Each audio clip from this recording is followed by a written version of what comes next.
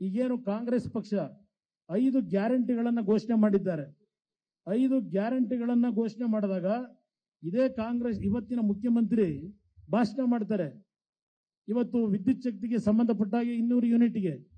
ನನಗೂ ಫ್ರೀ, ನಿಮಗೂ ಫ್ರೀ, ಕಾಕಾ ಪಾಟೀಲ್ ನಿನಗೂ ಫ್ರೀ.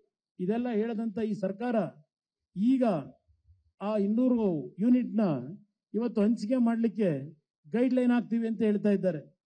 ಇದೇ ರಾಹುಲ್ ಗಾಂಧಿ ಅವರು ಬಂದರು ಭಾಷಣ ಮಾಡಿದ್ರು. ಎಲ್ಲ ಗ್ರಾಜ್ಯುಯೇಟ್ಗಳಿಗೆ degree B A B S C B com doctor, engineer ಎಲ್ಲರಿಗೂ ಮೂರು ಸಾವಿರ ಅಂದರು. ಈಗೇನು ಹೇಳ್ತಾ ಇದ್ದಾರೆ?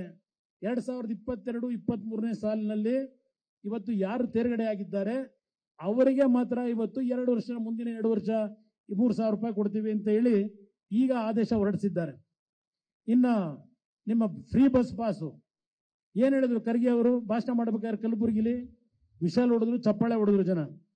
ಭಾಷಣ ಮಾಡಿದ್ದೇನವರು ನೀವು ಇಲ್ಲಿಂದ ಪೂನಾಗೆ ಹೋಗಿ, ಇಲ್ಲಿಂದ ಬಾಂಬೆಗೆ ಹೋಗಿ, ಇಲ್ಲಿಂದ ತಿರುಪ್ತಿಗೆ ಹೋಗಿ, ಧರ್ಮಸ್ಥಳಕ್ಕೆ ಹೋಗಿ, ಪಾಪ ಕಾಂಗ್ರೆಸ್ ಅಧ್ಯಕ್ಷರು ಹೇಳಿದ್ರು ನಿಮ್ಮ ಮತ್ತೆ ಮನೆಗೆ ಹೋಯ್ತಿರೋ ನಿಮ್ಮ ಸೊಸೆ ಮನೆಗೆ ಹೋಯ್ತಿರೋ ಎಲ್ರಿಗೂ ಫ್ರೀ ನಿಮಗೆ.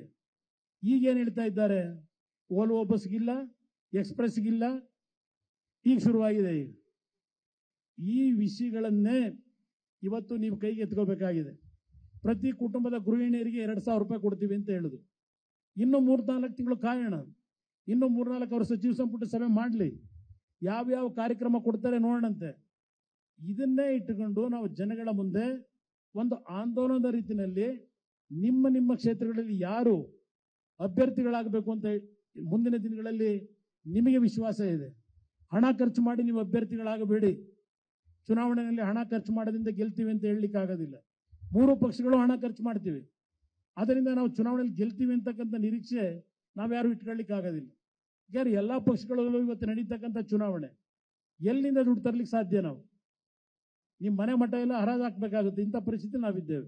ಅದಕ್ಕೋಸ್ಕರವಾಗಿ ಜನಗಳನ್ನ ಇವತ್ತು ಆಂದೋಲನದ ರೀತಿ ಅವ್ರನ್ನ ಇವತ್ತು ಸರಿಪಡಿಸಬೇಕಾಗಿದೆ ನಾವು.